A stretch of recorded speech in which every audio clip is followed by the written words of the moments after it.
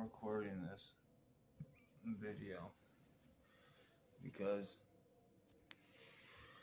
this is day one. When I was a kid,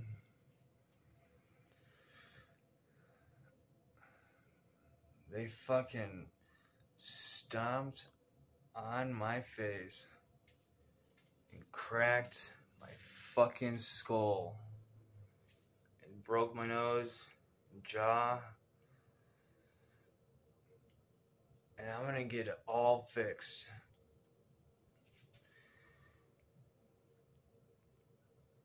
And I'm gonna show everybody how different I'm actually gonna look. Because nobody except my family knows how I really look. I was 17 years old,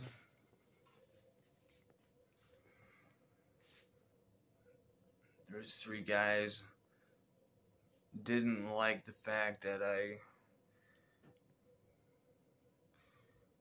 had an attraction to some older black woman and they kicked and stomped on my face because of it